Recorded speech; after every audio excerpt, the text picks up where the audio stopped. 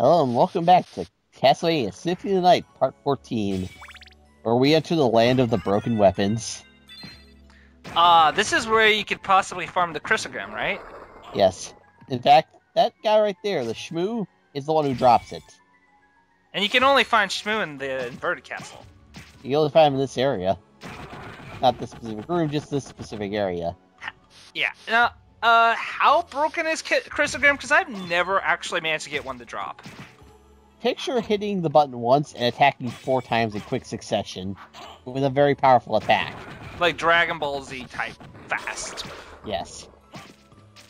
Anyway, if you haven't figured out the theme naming yet, you'll figure it out when we find the third of the enemies here.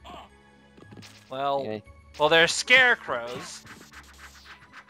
We've been attacked by Tin Men now. And finally, we have the lions. Okay, that was pretty cool. For Tin Men, the uh, kind of like the death animations, the, the way they fall apart, that's actually a pretty neat death animation. So, uh, where are the flying monkeys? Uh, I'm gonna call Schmoo the flying monkeys. Eh. That's the closest you're gonna get in this area. Turns out one of the flying monkeys in the movies were called Shmoo. Who knew? Anyway, the other enemies in the area all drop really powerful equipment anyway. But wait, you sure it's Shmoo? Could be Schmo. S C H M O O. Shmoo. Schmo. The guy who dropped the Crissaegrim. That too. Anyway, Scarecrow here drops the Muramasa sword, which gets stronger as you kill enemies that bleed. And it has no upper limits, but it takes a lot of enemies to do that. You remember when video games used to be creative and imaginative? Yeah. Those were some good times. Anyway, Wait, we are missing Dorothy. eh, no one cared about Dorothy. Why wouldn't you? And a neutron bomb? Are you fucking kidding me? It's not that good. Anyway, the Badelaire gains power as your game clock increases. It gets one attack point for every hour on your clock, up to 99, because the clock stops then. Hmm. So even then, it's not as powerful as some other weapons. That, and let's face facts, I've only been playing this game for two hours now, so it's got an attack power of two.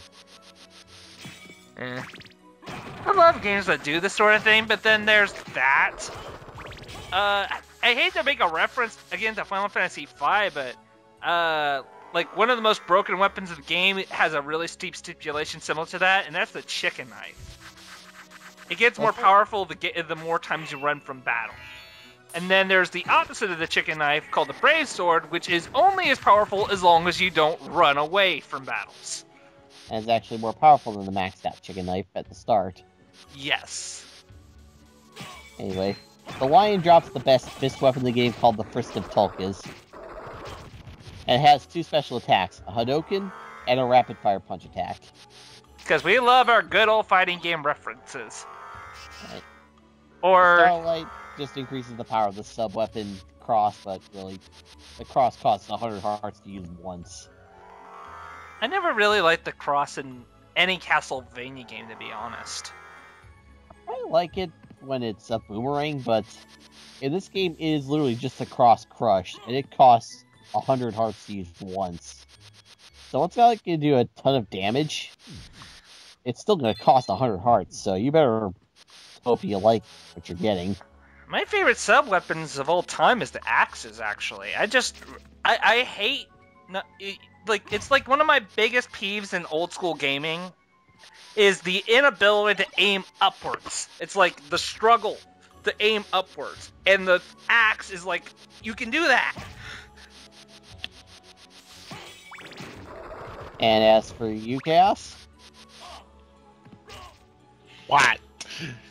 any sub weapon types you prefer? Oh, mostly the axe or uh, holy water.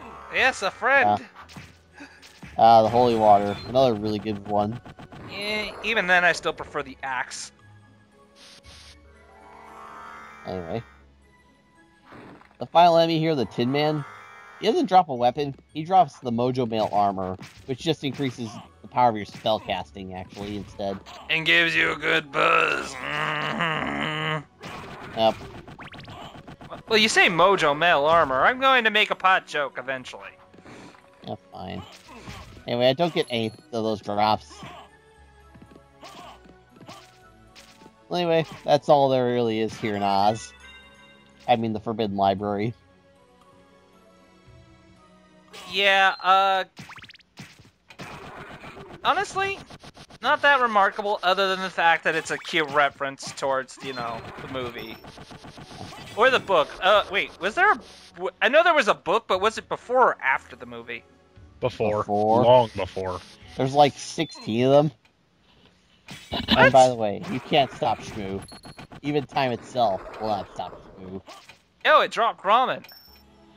That's its common drop. Well, that's nice. I actually like ramen.